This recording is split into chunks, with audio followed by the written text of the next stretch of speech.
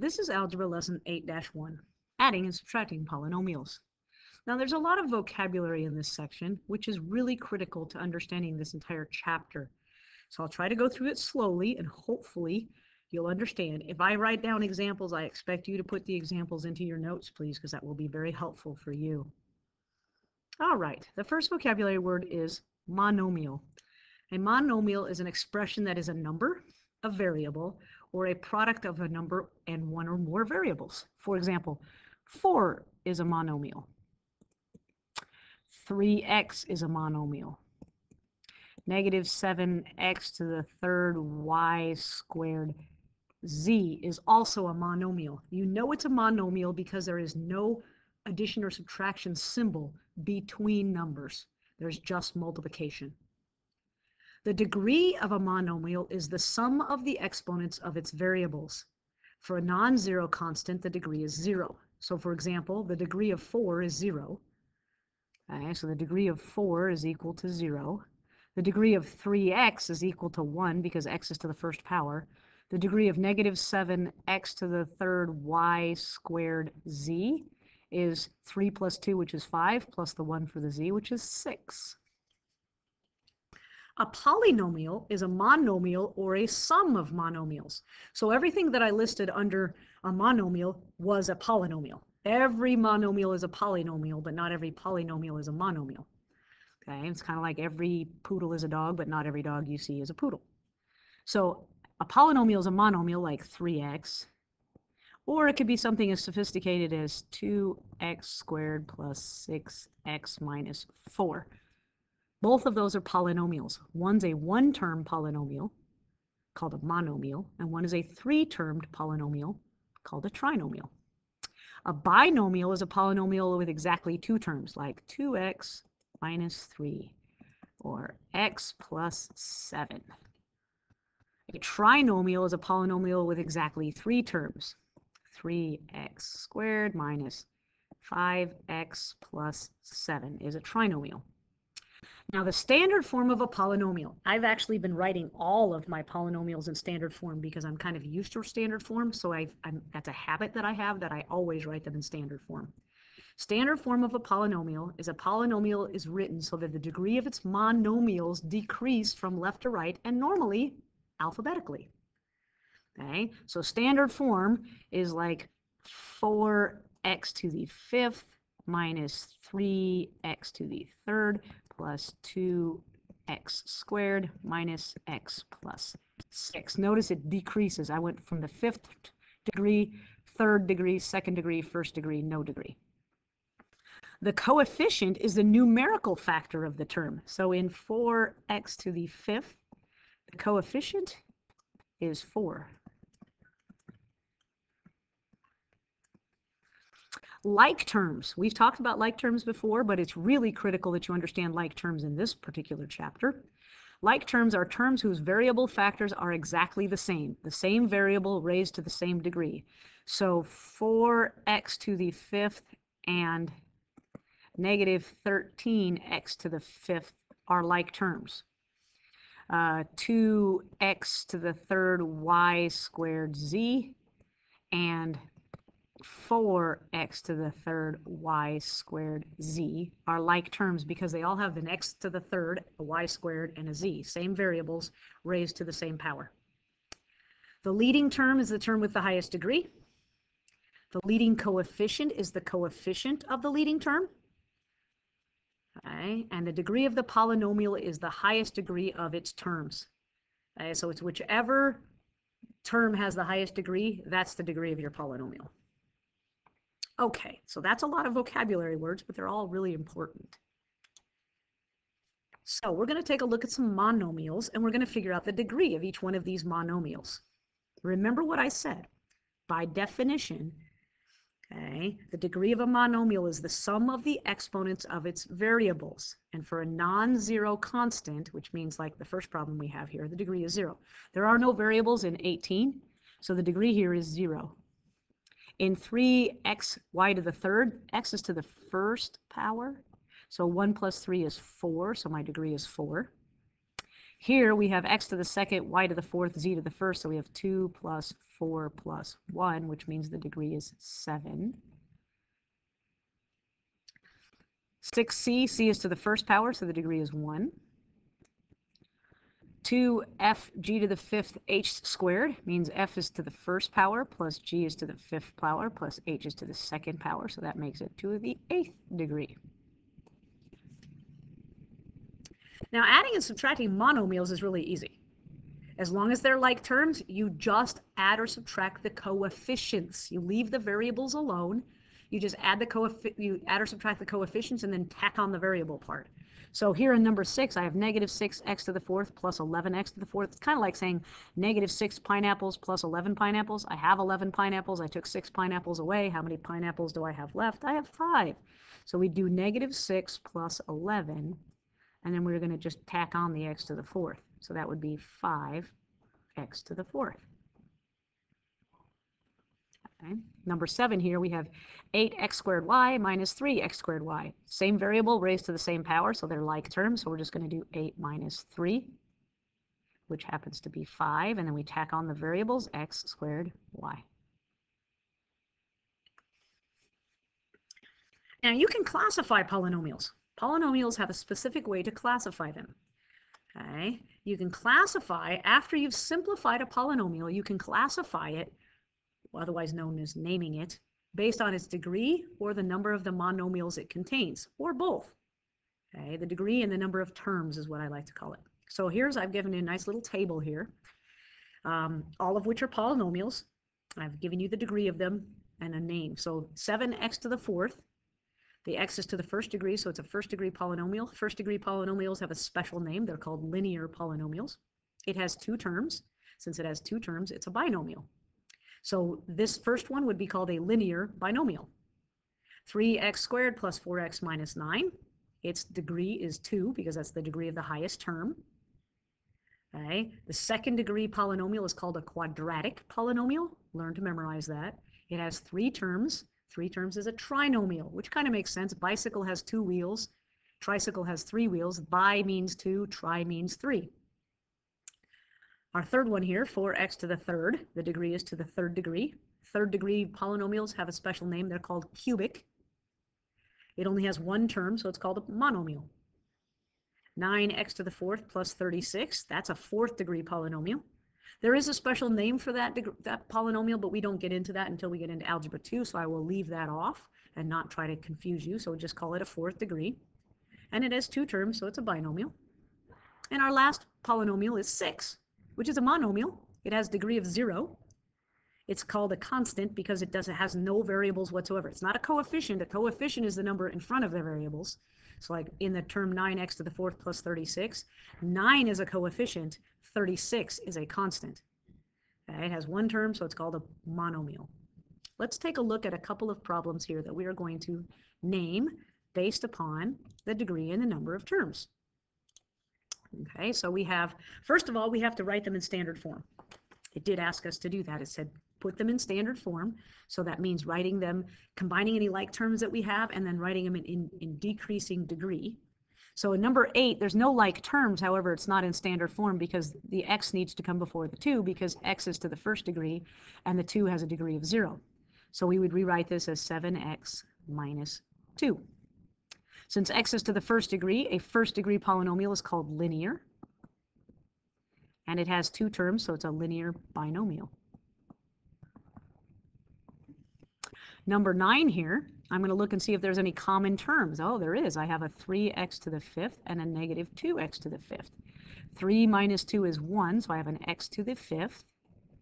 Then I have the 7x and then I have a minus 2. I've combined all the like terms, and then I rewrote it in descending order of the variable. Something to the fifth degree, we didn't have a fourth, we didn't have a third, we didn't have a second, but we did have a first degree. Okay, so we have x to the fifth plus 7x minus 2. Okay, it's a fifth degree polynomial. There's no special name for that yet, so we'll call it fifth degree. But it has three terms, and a three-term polynomial is called a trinomial. Number 10, 6x squared plus 7 minus 9x to the fourth. There are no like terms. However, it's not in standard form because we have to go from the highest variable to the lowest. So x to the fourth is higher than x to the second. So I have negative 9 x to the fourth plus 6 x to the second plus 7. So now it's in standard form. It is a fourth degree. Again, it has three terms, so that makes it a trinomial.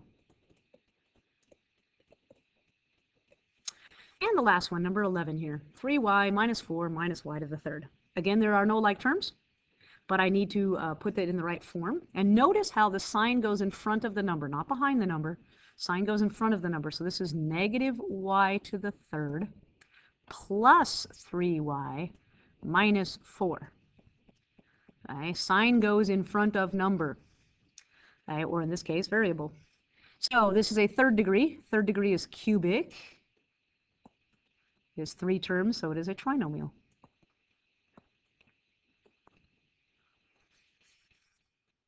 Now we're going to do um, things besides classifying. We're also going to add and subtract polynomials.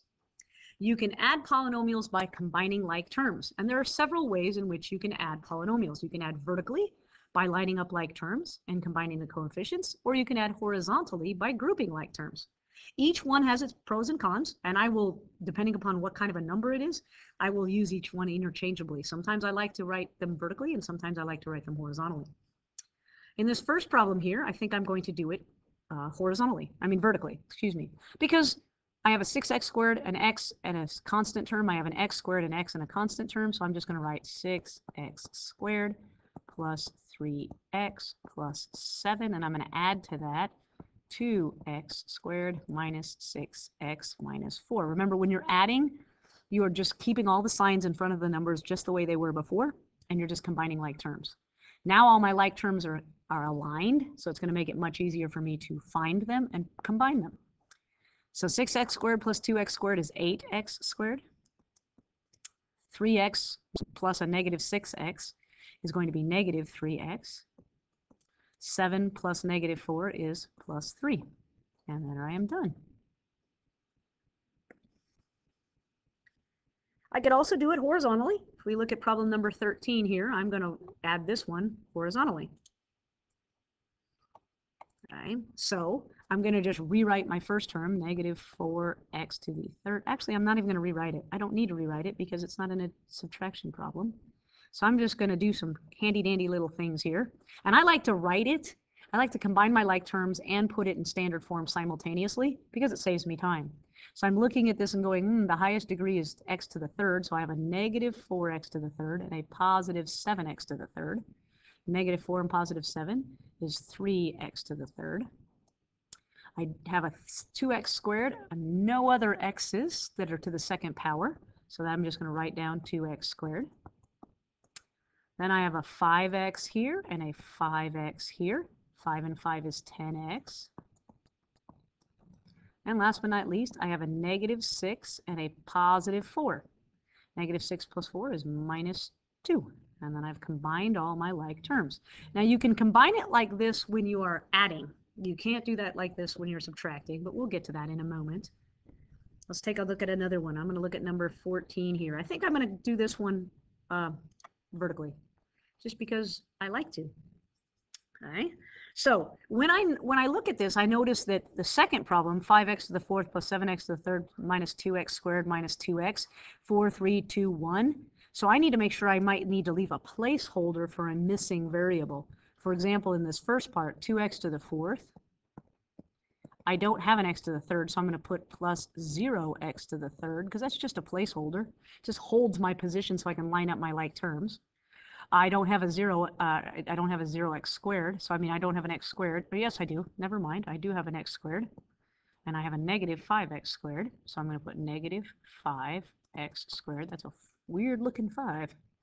Um, I have an x, so I have a plus 4x plus 5. I'm going to add to that the whole second polynomial.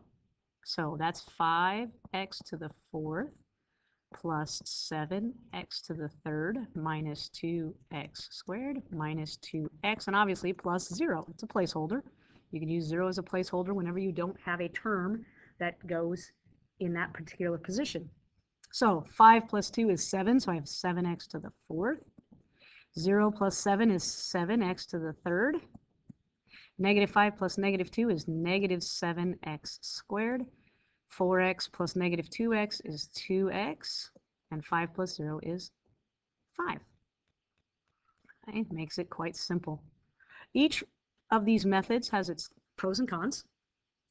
Okay, for example, on the vertical method, you have to remember to put in a placeholder to keep all your terms lined up. But on the horizontal method, you sometimes can miss a term if it's big and it has a long string of terms. All right, let's look at a word problem. The revenue generated by a company and the cost of producing X units can be modeled by the polynomials shown below. Add the functions to determine the net profit or loss polynomial. So my revenue is 2x squared plus 120x. My cost is negative 5.5x squared minus 300x minus 8,000. So I'm just going to add these together. I'm going to do this one horizontally. So 2x squared plus 120x plus negative 0.5x squared minus 300x minus 8,000. All right, combine my like terms. I have a 2x squared and a negative 0.5x squared. 2 minus a half is 1.5, so 1.5x squared. I have a 120x and a negative 300x. Notice sign goes with the number. Okay, the sign goes in front of the number. So positive 120 plus negative 300 is negative 180x. And I don't have anything that compare up with the 8,000, so I'll just put that at the end, minus 8,000. So in this particular case, my profit or loss is 1.5x squared minus 180x minus 8,000. Now back in chapter 1, we learned that subtraction was adding the opposite. Therefore, when you subtract a polynomial, you change each of the terms to its opposite and then you add them. And again, you can do this horizontally or vertically.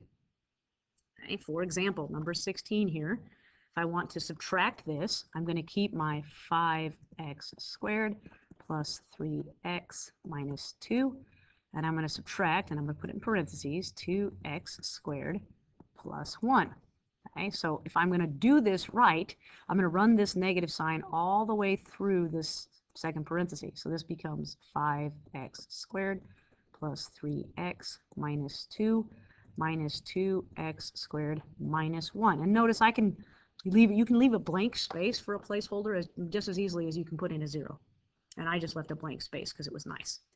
So 5x squared minus 2x squared is 3x squared 3x plus nothing is 3x, and negative 2 minus 1 is negative 3, because we're adding. And there we go.